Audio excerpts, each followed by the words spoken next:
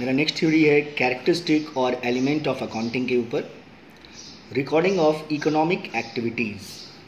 accounting involves recording of financial transaction on the basis of certain specific rules the way of recording may differ in accordance with the nature and size of business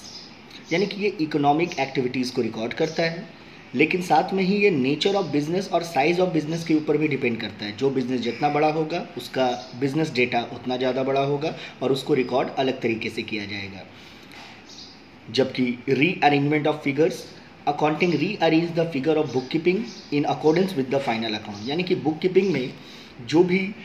information दिया जाता है through the journal laser उसको हम लोग final account में trading PL और balance sheet में rearrange करते हैं ताकि उससे करेक्ट प्रॉफिट और लॉस निकाला जा सके। Recording of past economic event accounting is historical in nature it is the recording of past economic event account जो है, ये हिस्टोरिकल इन नेचर होता है, यानी कि ये पास्ट के इंफॉर्मेशन के बेस पे प्रेजेंट पे, उसका इवोल्यूशन करता है कि क्या हमारा बिज़नेस ग्रोथ कर रहा है या ये खत्म हो रहा है या मीन डाउनफॉल हो रहा है।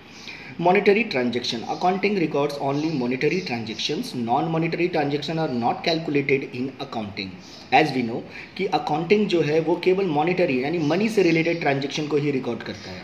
आप अगर सोच रहे हो कि नॉन मॉनिटरी ट्रांजेक्शन क्या है तो जैसे कि आपका ऑनेस्टी हो गया, आपका हार्डवर्क हो गया, इन सबों का रिकॉर्ड अकाउंट नहीं करता है। Presentation in summary form accounting present the economic event in the summary form manufacturing account trading account profit and loss account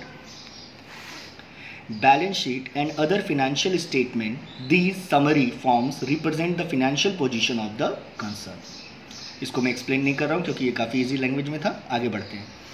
And art of classifying the data accounting is an art of classifying the data systematically on the basic of certain rules यानी कि account में जो भी record होता है data उसका एक basic rule होता है, जिसको हम लोग गोल्डन रूल बोलते हैं। उस सिस्टम पे इसको रिकॉर्ड किया जाता है और क्लासीफाई किया जाता है। It is a science accounting is a science because every business transaction is recorded in a systematic manner manner of accounting are fixed and depend on financial rules of accounting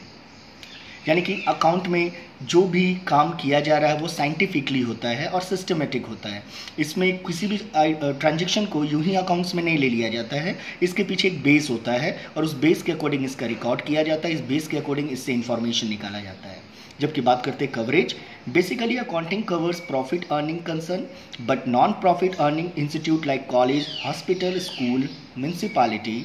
also come under the umbrella of accounting यानी कि account जो है profitable organisation का तो profit loss निकालता ही निकालता है but हमारे सोसाइटी में जो नॉन प्रॉफिटेबल ऑर्गेनाइजेशन है, उनका भी रिकॉर्ड अकाउंट रखता है। यानी कि ये उनको भी कवर करता है। बात करते हैं usefulness accounting provide factual and interpretive information about transaction ये उसी ट्रांजेक्शन को लेके चलता है जिसका फैक्ट को ये लोग पब्लिक के सामने रख सकता है या जिसे इंटरप्रेट किया जा सकता है। लेकिन and other event which are useful for predicting comparing and evaluating the enterprise earning power इसके अलावा वो उस इवेंट को भी लेता है जो ये बतलाता है कि जिसके बेस पे हम लोग प्रिडिक्शन कर सकें फ्यूचर के लिए, किसी अदर बिज़नेस से कंपेयर कर सकें और जिसका इवोल्यूशन किया जा सके for the earning power last है analysis of interpretation on the basis of record business event accounting analysis interprets the data according to the user of accounting, future planning and forecasting are made on the basis of accounting. यानी interpretation के base पे आने वाले समय पे हमारा business में क्या क्या हो सकता है क्या डिसीज़न लेना चाहिए और किन लोगों के साथ हम लोगों को आगे कंपटीशन होगा ये सारी चीज़ों को लेके ये बतलाता है। तो ये था मेरा नेक्स्ट थ्योरी कैरेक्टरिस्टिक और element of accounting thank you